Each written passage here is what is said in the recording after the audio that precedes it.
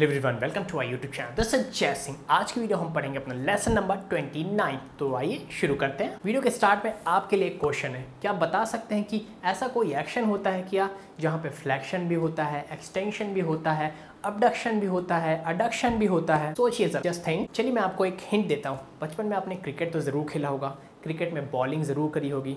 तो सोचिए, जब आप बॉलिंग करते हैं तो उस समय आपकी बॉडी कौन सा एक्शन परफॉर्म करती है? उस एक्शन में क्या क्या चीज़ें इन्वॉल्व होती हैं?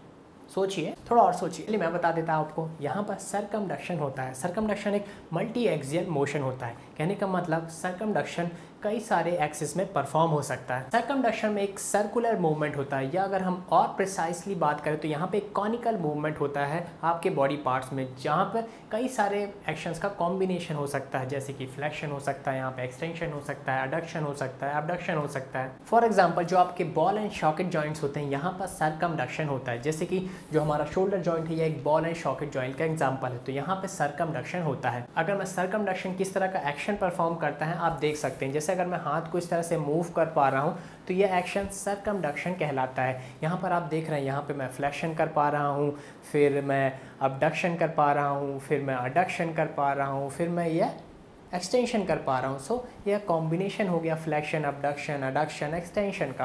सो so, इस मूवमेंट को हम सरकमडक्शन बोलते हैं। सब so, आपको ध्यान आ गया होगा जब आप बॉलिंग करते हैं इस तरह से तो कौन सा एक्शन यहाँ पे परफॉर्म होता है? हमेशा यहाँ पे एक चीज़ कन्फ्यूज़न रहता है फिटनेस फ्रीक्स के अमंग क्या? सिर्फ़ इसी मूवमेंट को हम सरकमडक्शन बोलते हैं।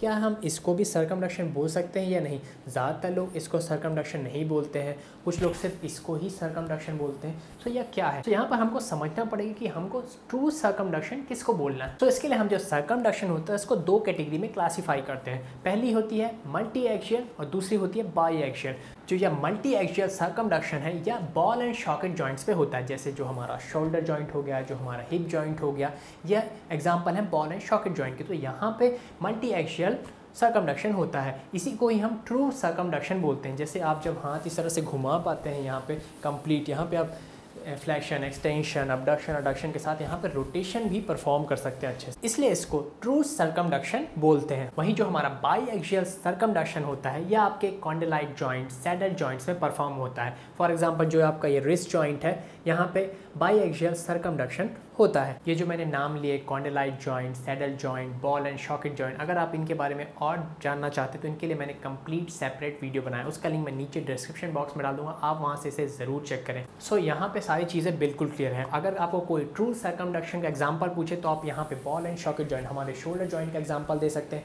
वहीं अगर आपसे कोई पूछे कि जो रिस्ट जॉइंट होता है क्या यह सरकमडक्शन होता है या नहीं तो आप उनको बोल सकते हैं कि जो रिस्ट पे सरकमडक्शन होता है, इसको बाई एक्शियल सरकमडक्शन बोलते हैं। यहाँ पे ट्रू सरकमडक्शन नहीं होता है, यहाँ पर बाई एक्शियल सरकमडक्शन होता है। आई होप आपको सारी चीज़ें क्लियर हो गई होंगी। अब लोगों को यहाँ पर एक और डाउट आता है। शायद आपके मन में भी क्वेश्चन आ रहा होगा कि क्या रोटेशन और सरकमडक्शन दोनों सेम चीज़ है या दोनों डिफरेंट चीज़ है? मैं यहाँ पे एक चीज़ क्लियर कर दूँ, जो सरकमडक्शन है और जो रोटेशन है, ये दोनों डिफरेंट चीज़ें दोनों सेम नहीं होते हैं। क्योंकि जो सरकमडक्शन होता है, ये मल्टी एक्सियल मोशन होता है। यहाँ पर आपके बॉडी पार्ट कई सारे एक्सिस में मूव कर सकते हैं और कई सारे एक्शन एक साथ परफॉर्म कर सकते हैं। जैसे फ्लैक्शन हो गया एक्सटेंशन हो गया अबडक्शन हो गया अडक्शन हो गया। वहीं जो रोटेशन होता है, ये एक यूनी एक्शन मूवमेंट होता है। यहाँ पर आपका बॉडी पार्ट एक लॉन्ग एक्सिस के चारों तरफ़ घूमता है। फॉर एग्जांपल जैसे इमेजिन के लिए कि यहाँ से एक एक्सिस पास हो रहा है ठीक है? मिड एक्सिस या सेंट्रल एक्सिस उसके और उसके चारों ओर हमारी बॉडी ऐसे घूमती है। सो so, इसको हम रोटेशन बोलेंगे। इसको हम सरकमडक्शन नहीं बोल सकते हैं। सो यह मेजर डिफरेंस है सरकमडक्शन और रोटेशन के बीच। सरकमडक्शन एक मल्टी एक्जियल मोशन है वहीं